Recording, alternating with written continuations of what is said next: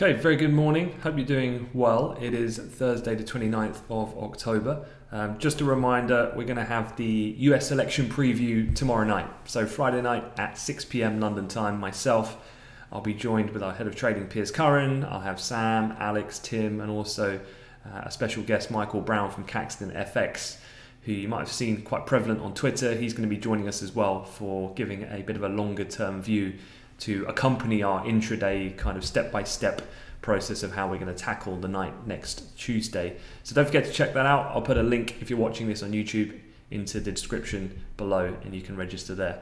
Um, otherwise, let's get straight into it. Let's start talking about the news and how markets are shaping up this morning. And last night on Wall Street, obviously big selling pressure that came in, uh, the biggest drop we've seen in the S&P 500 since June, in fact uh, a loss of just over 3.5%.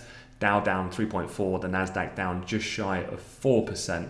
So one of the biggest down days we've had in a while and adding to some of the negative sentiment that's been uh, developing since really the beginning of the week with the overall emphasis not so much on the election but in the near term um, threat about lockdown anxieties growing, I guess is a good description for it.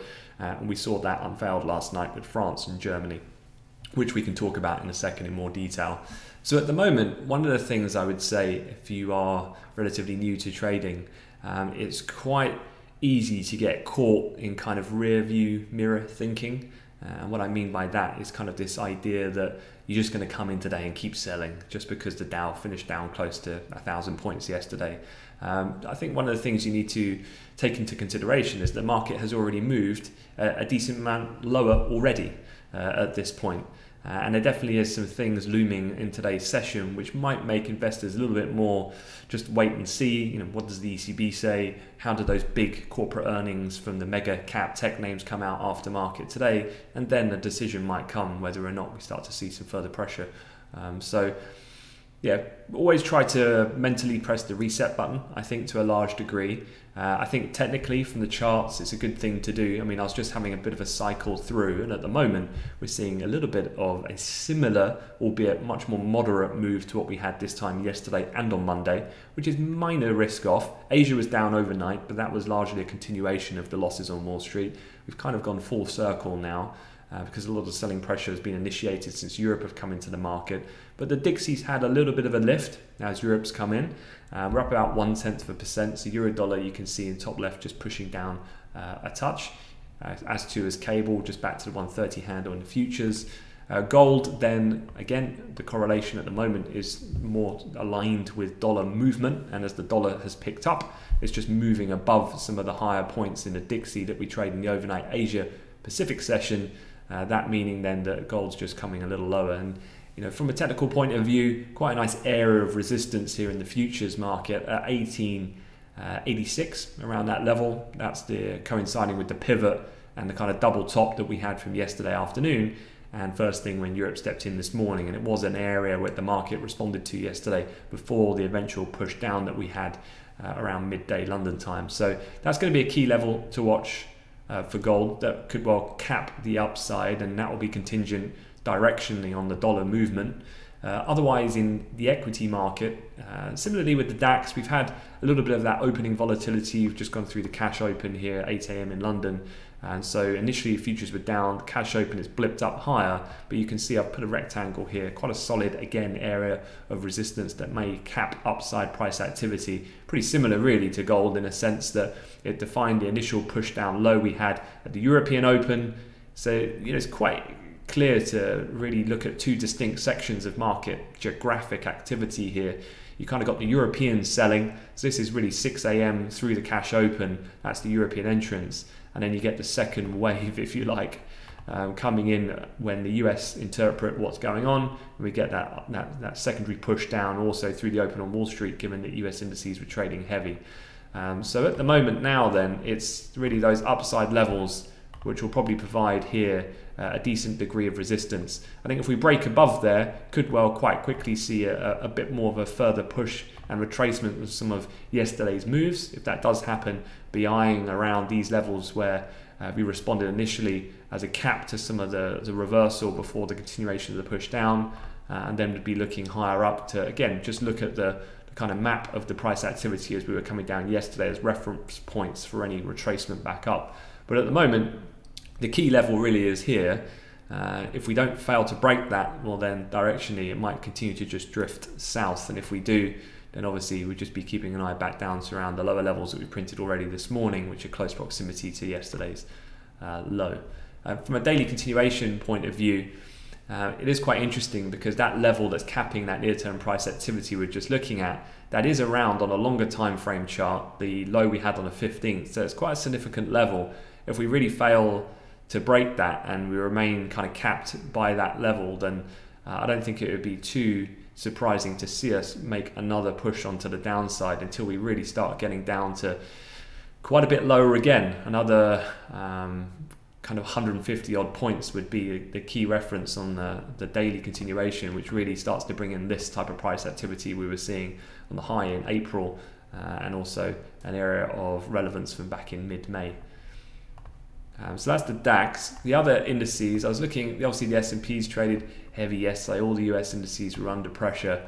Uh, I was looking at the NASDAQ for one, and this was on a, a daily continuation. And some markups I've had here just sitting on the charts for a while. Um, but one of the things is we're, we're capped again in a similar kind of situation to the DAX. Uh, and I think if we fail to really get back above uh, this level here I've got marked at around 11 to 68 type, then I, I think we, we, we, could see another push to the downside. Uh, again, we got the, uh, the 100 DMA line coming in just below um, with those previous highs that we had uh, back in July as a double top, uh, which would be an area I'd keep an eye on at 11,000 and kind of 58 if we did come under some further selling pressure. Again, really important the aftermarket earnings. It's kind of the day for earnings season. Uh, I'll get round to it in a moment, but there is 36% of the entire Nasdaq 100 um, reporting after market close today alone. So it's definitely going to be uh, a market mover for the index. And then elsewhere, finally, just looking at oil. Uh, oil just continuation really of the trend that we've had. And we're at quite an interesting level right here obviously uh, just getting close proximity to retesting the low that we saw shortly after the European exit.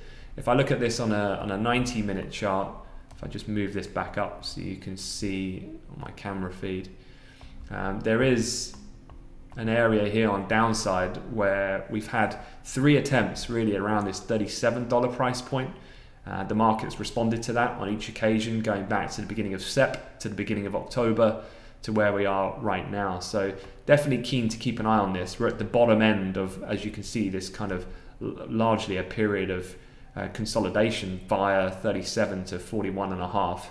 Uh, a break of that obviously might th- mean things get quite heavy. What would be a trigger point for that? Um, well, further further dollar strength, perhaps, be keeping an eye on the correlations if equities still remain quite heavy, all the more reason and higher conviction for the break here. But based on the same notion that really this is all about repricing of um, the, the, the kind of risk of demand diminishing given the repercussions of the restrictions that are being imparted at the moment across across the world.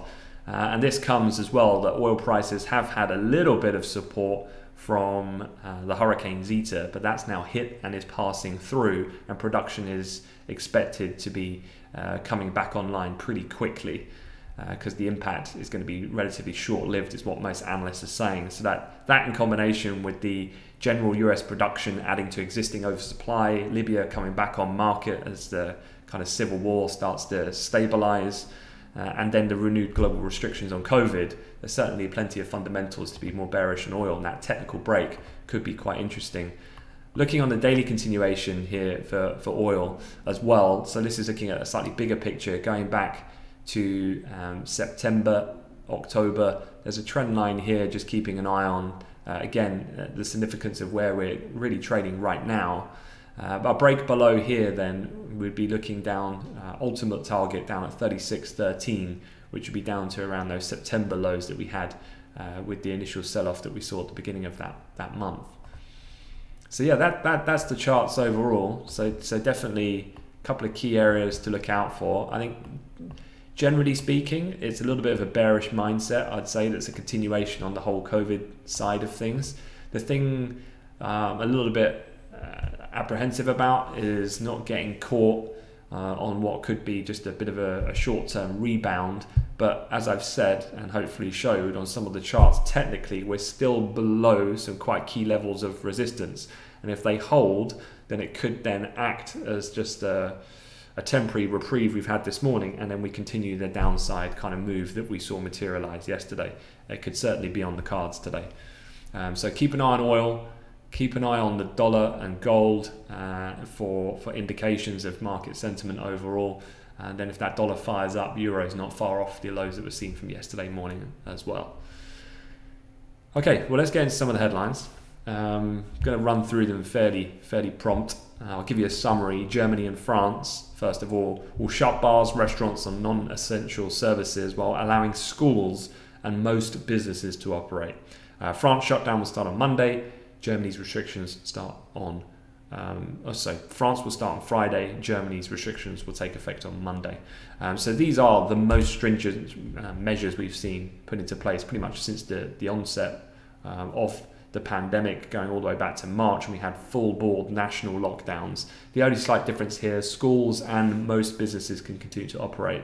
Um, but the options discussed by the government so far, and this is looking at France specifically, um, I've been looking at some of the numbers from Bloomberg uh, estimates, and they say that the government proposal in France could strip around 0.8 to 2% off quarter, uh, fourth quarter GDP in France if it stays in place for an entire month.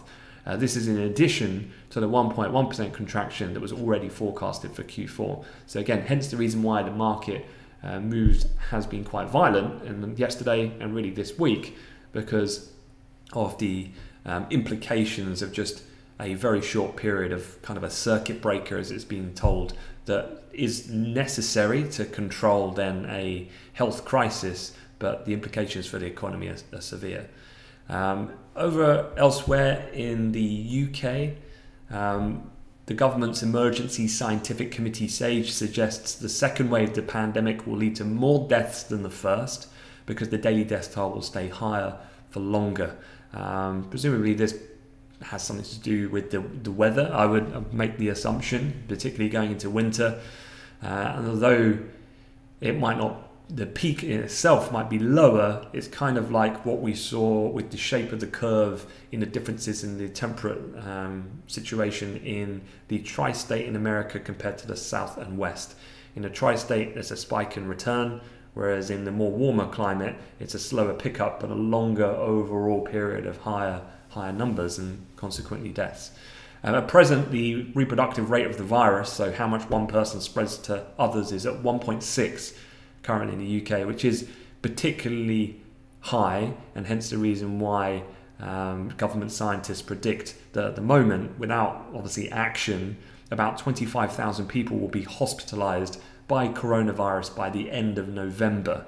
Uh, modelling suggests the whole of England is likely to require the tightest restrictions then by the middle of December, uh, which is kind of puts to bed then the idea of any of these localized type lockdowns. So uh, the others have gone first, mainland Europe. This has been the pattern. UK's kind of always held off, um, but as a reflection of that, some of the case numbers in, in the UK have been some of the worst.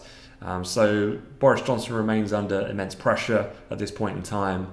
Um, if he does then uh, decide, uh, not thinking that that will come as soon as today, but if he does buckle to the pressure and we see something more akin to what's being adopted in France, for example, uh, that is going to weigh on the pound, I believe, in the, the very immediate future because of the economic implications uh, as we've just discussed. Um, so that's that side of things. Talking about the overnight, uh, you've had the BOJ. Uh, not really much need for me to spend too much time on this overall. The Bank of Japan, they cut their growth forecast for the current year while keeping their interest rate and asset purchase program the same. So everything there was pretty much as to be expected. On inflation, the bank trimmed its forecast for this fiscal year.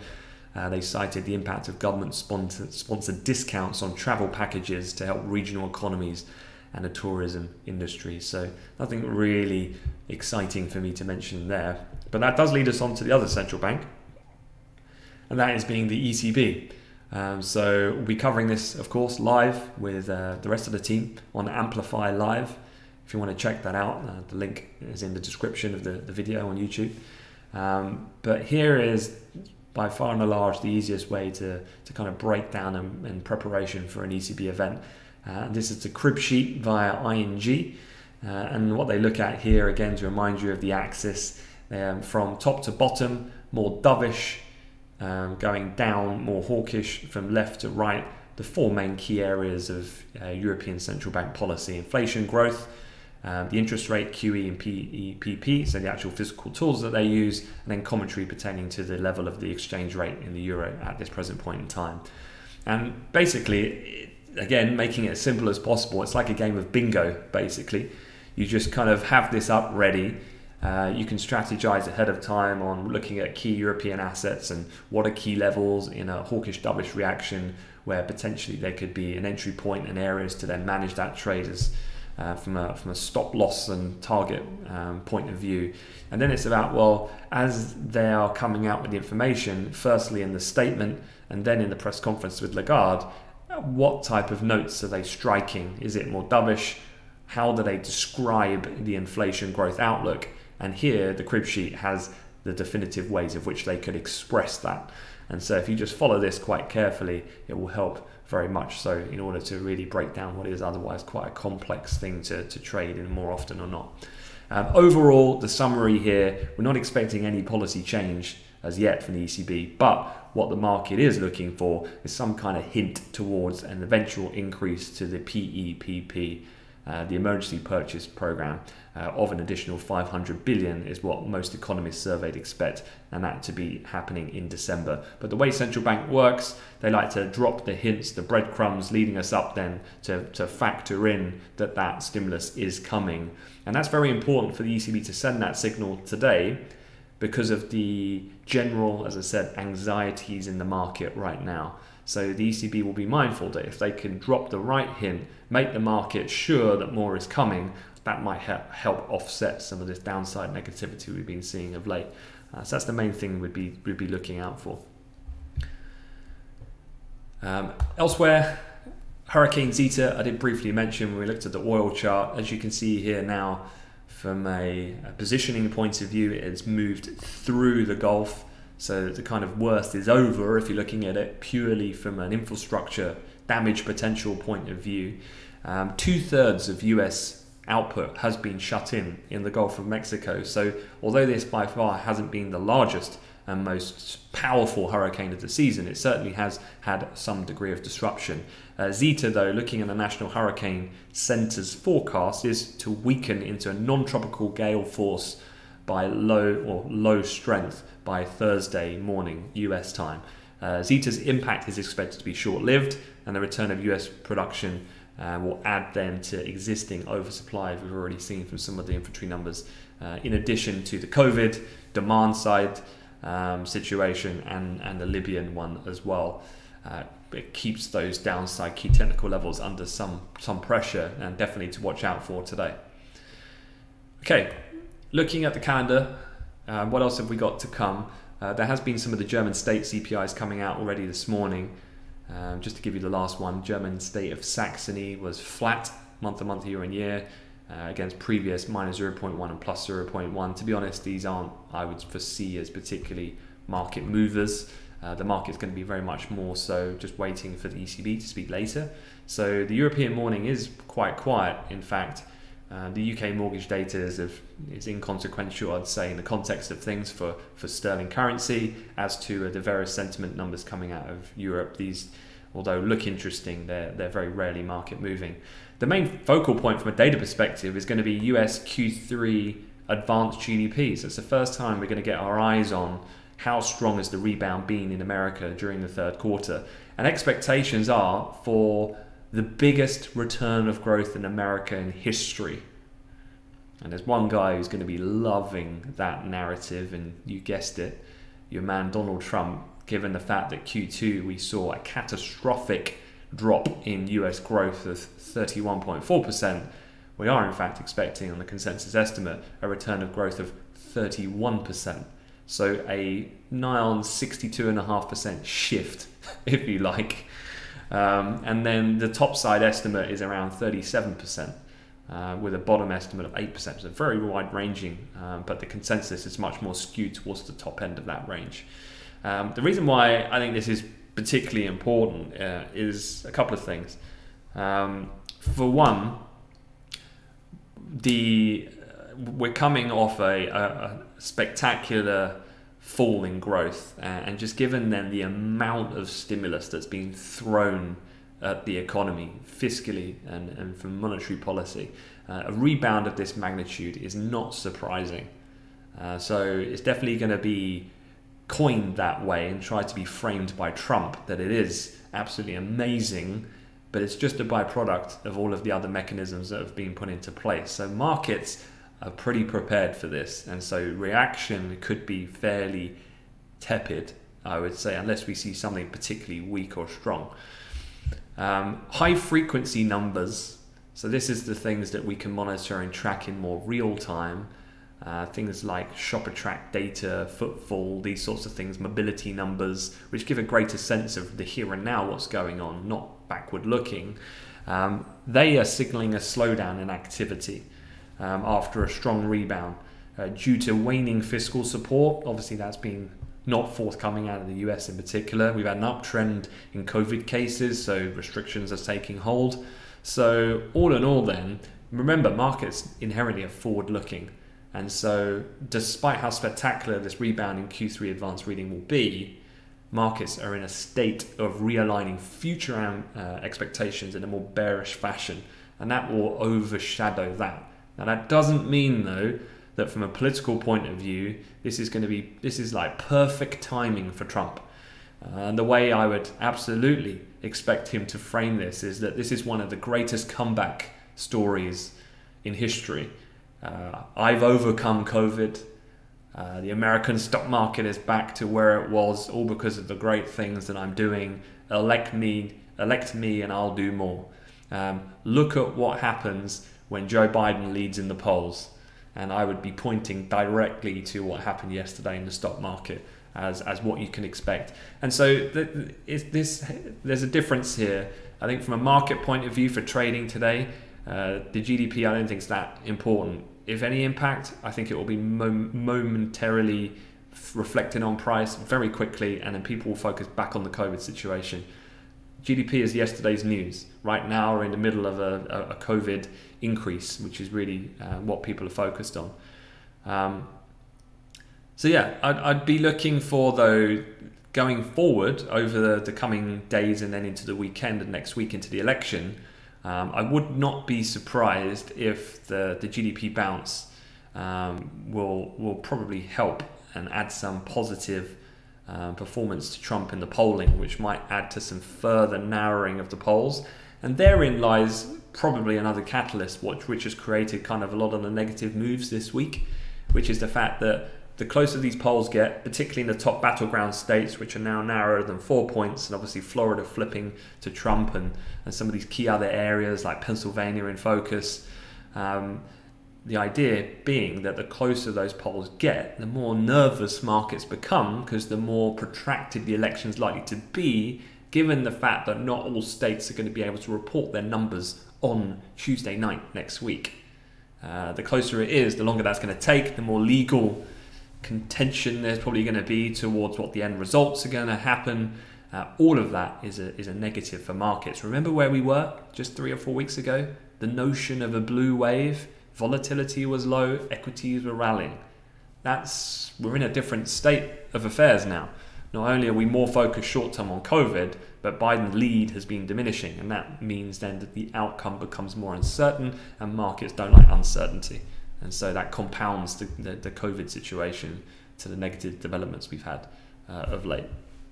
Um, other than that, you get your weekly jobless claims, of course. You got the ECB. Remember today, this is quite unusual because of the clock change in UK, but not yet in America. You're going to get the GDP number just before the initial statement from the ECB. Obviously, normally it's the other way around. So we're going to have to tackle that first then hit the ECB, and then the press conference will be at a normal time of 1.30 London time. So we'll cover that full with all the Amplify Live guys for sure. Um, and that's pretty much it until we get to earnings. so let me finish with earnings. Um, just going to get down to here. Uh, I know this is a bit difficult to see, but these are all the earnings that are coming out after market. So it's one of the busiest days of the earnings season as yet. But the thing I want to draw your attention to really is on the right hand side here. I made a comment on uh, on my Twitter account this morning, uh, and Amazon, Google, Apple, Facebook are all reporting aftermarket. Combined, that has a cumulative index weighting value of 36%. Just given how they've massively outperformed in these kind of pandemic conditions against the overall broader market. Uh, that is a whopping size for such just four companies. I don't think in my career, certainly, I've ever seen uh, being so dominated by so few. So, aftermarket today, uh, I'll cover all of those um, as well when they come out. So uh, I'll probably share some stuff on Twitter, but I'll be sharing it all live on on Amplify Live. Cool. All right, that is it. Gonna let you guys get on with the day. Hope the rundown was useful. Uh, feel free to subscribe to the channel if you're new, and I wish you a good day ahead, and I will see you hopefully tomorrow morning, same time. Take care.